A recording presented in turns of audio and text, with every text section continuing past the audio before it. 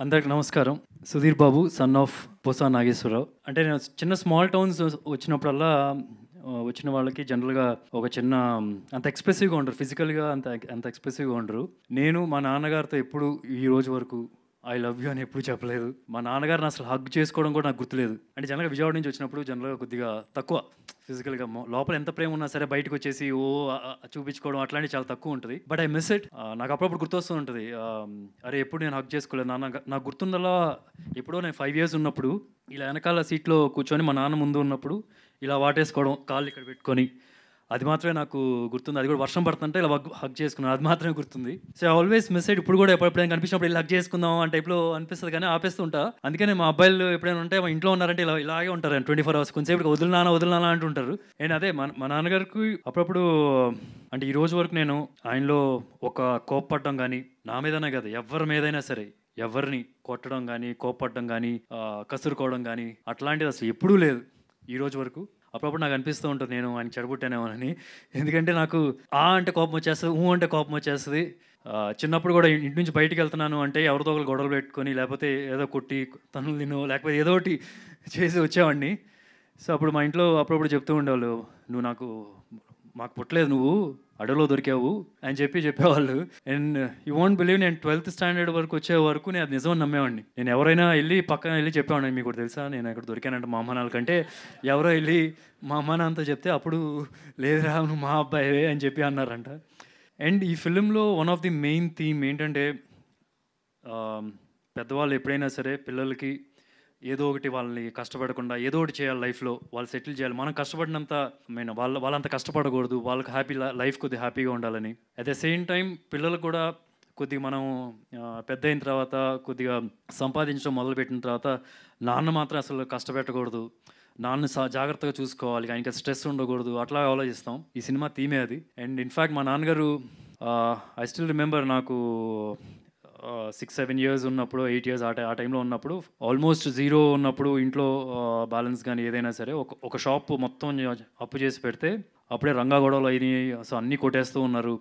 కొట్టేస్తున్నప్పుడు చాలా టెన్షన్ పడుతున్నారు. First time మా నాన్నగారిని కొద్దిగా టెన్షన్ పడడం చూశాను.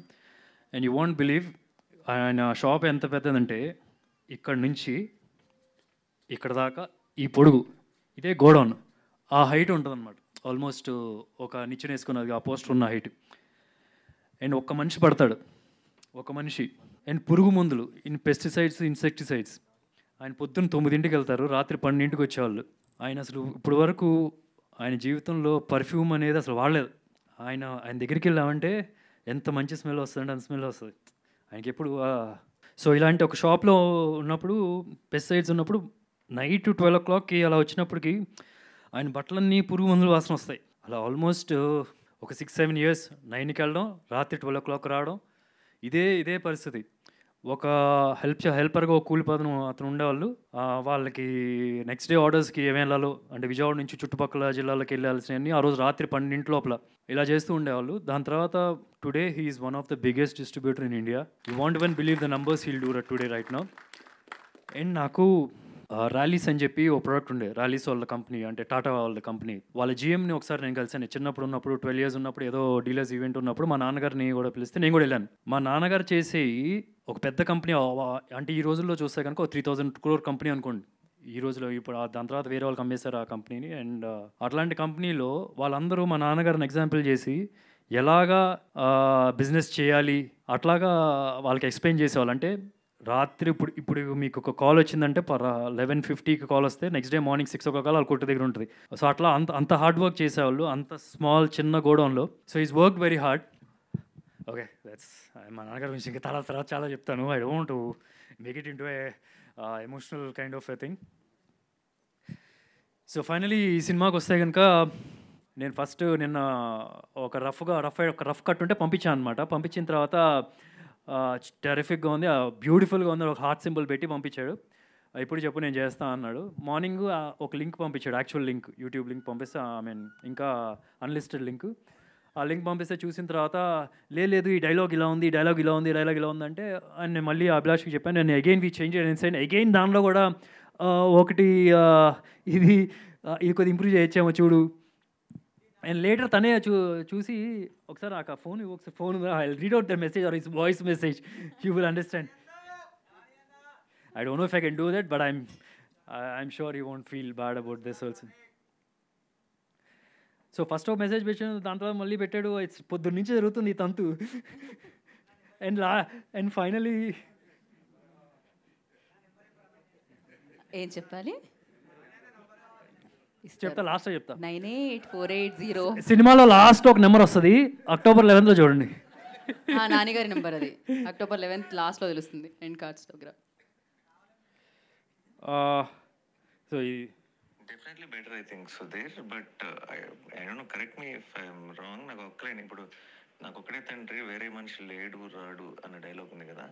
ఒకసారి ప్లే చేసుకుని నేను వేరే మనిషి లేడు రాడు it's such a beautiful line అది మ్యూజిక్లో కలిసిపోతుంది? వేరే మనిషి లేడు అన్నది.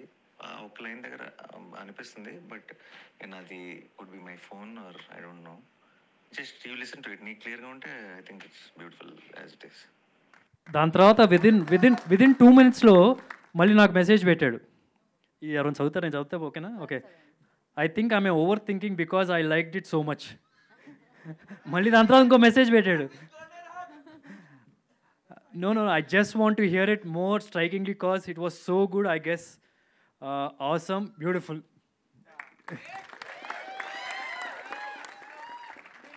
so and ఇంకోటి I don't want mislead you people also ఇది కల్కిలో బుజ్జి లాంటిది కాదు. మిడిల్ క్లాస్ బుజ్జి. ఓకే కాకపోతే ఇది ఓ పెద్ద ఎక్స్పెక్ట్ చేయదు. ఏదో మాకు మిడిల్ క్లాస్ ఫ్యామిలీ ఫీల్ వస్తుందని చెప్పి మేము సెటప్ చేసాం. సినిమాలో దీని రోలు నాలుగైదు సీన్లే. ఎక్కువ ఎక్స్పెక్ట్ చేయొద్దు. అండ్ ఐ ఐ యాక్చువల్లీ నేను జనరల్గా ఒక I I fell in love this love with this character actually. నేను పోర్ట్రే చేసిన ఈ క్యారెక్టర్ మా నాన్నగారే. ఎగ్జాక్ట్లీ మా నాన్నగారే. అండ్ యూ వోంట్ బిలీవ్ నేను జనరల్గా ప్రెస్ మీట్కి ఎప్పుడైనా వెళ్ళేప్పుడు నేను మామూలు tip top ready T shirt వేస్తాను వేస్తాను కల్చోడు పెడతాను లైరింగ్ రింగ్ పెడతాను. అసలు రకరకాలుగా షాపింగ్లు చేసి రెడీ చేసి వెళ్తాను. I'm very comfortable on this ఒక check shirt and jeans pant. That's because of this character because I love this character and it's making this dress very comfortable on me okay ఇంకా అంతేనా? అయిపోయింది. I don't take much more time October eleventh దసరాకి వెళ్ళండి. And next వచ్చే కంటెంట్లో కూడా మీకు అర్థమైపోద్ది. మీకు మా పక్కా family cinema you will enjoy to the core yeah మనం మీ లిస్ట్ అంతా పంపించండి. మేము దాన్ని నువ్వు వెళ్ళి రాజ్ రాజమౌళి గారి దగ్గర పర్మిషన్ తీసుకో. క్రేజీ ఆన్సర్ వన్స్ అగైన్ ఎలాగో మీ దగ్గరికి ఫోన్ వచ్చింది కాబట్టి నాన్నగారికి మనం థ్యాంక్స్ చెప్పారు మీరు వీడియో ముఖంగా. ఏదో ఒక లవ్ యూ చెప్తే బాగుంటుందేమో కాల్ చేసి అనిపిస్తున్నాం. నాని గారి వాయిస్ అయితే విన్నాం మేము. నాకు మీరు చెప్పే మే నాకు యాక్చువల్లీ నేను మా నాన్నగారికి ఫోన్ చేయలేదు. I I didn't I didn't inform him but I want to do this నాకు చెప్పారు బిఫోర్ ఆయనకి ఫోన్ చేసి ఐ లవ్ యూ చెప్పాలి అంటే మీకు ముందే చెప్పాను. ఆయన పెద్ద లైట్గా రియాక్ట్ అయినా పెద్దగా రియాక్ట్ అయినట్టు ఫీల్ అయిపోవాలి మీరు అంతే ఓకే. ఎందుకంటే you I told you is not all explain అని కోపం అనేది మా ముఖం మీద కనిపించదు అసలు. ఎవరితో అయినా సరే ఎక్స్ప్లెయిన్ చేసి డీటెయిల్గా మాట్లాడతారు. సో చూద్దాం. అక్కడ నుంచి రియాక్షన్ ఎలా వస్తుందో. ఆయనకి మీరు వాయిస్ వినిపించినట్టు అర్థమైపోద్ది. సో కొద్దిగా ఓకే మేము సైలెంట్.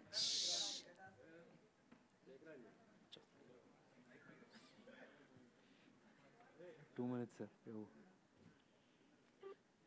ఇక్కడ సిగ్నల్ ఉన్నా సిగ్నల్ లైట్గా ఉంది కదా?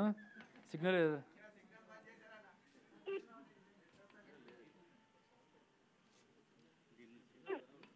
నా ఫోన్ నుంచి? వాట్సాప్ సిగ్నల్ లేదు వా- లేదు. అవుతుంది తెలుస్తుంది తెలుస్తుంది. ఒకసారి ఇదే ట్రై చేయాలి.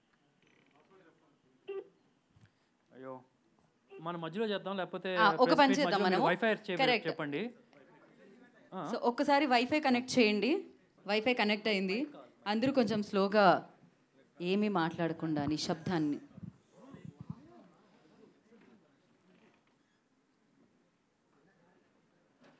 సారీ అందరికీ కొద్ది ఎక్కువ టైం పడుతుంది. మీ ఎంతసేపు ఎక్స్పెక్ట్ చేయలేదు అమ్మా. డాడీ. ఆ, ఏం చేస్తున్నారు? ఏం లేదు ఆఫీస్లో మమ్మీ లేదనుకుంటా ఇంటి దగ్గర? ఆ, లేదు డాడీ. లేదు మీకు మాట చెప్పాలి. చెప్పు. I love you daddy? I love you daddy. Thank you